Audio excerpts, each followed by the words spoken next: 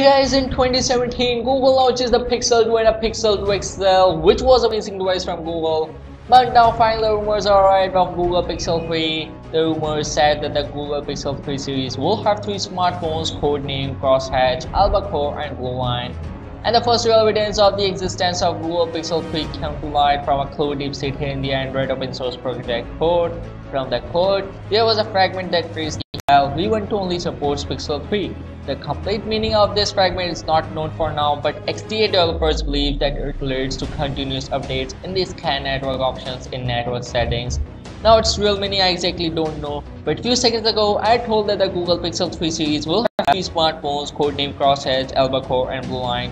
And few days ago we heard the news that Google will launch the Pixel mid-range device in selected markets like India and Pixel 3 series will have three smartphones three code names. So the first one obviously Google Pixel 3 and the second one Google Pixel 3 XL and the last one maybe Google Pixel 3 Mini or Google Pixel 3 Lite which may be cost less than the regular and XL version of Pixel 3 like the Huawei P20 Lite.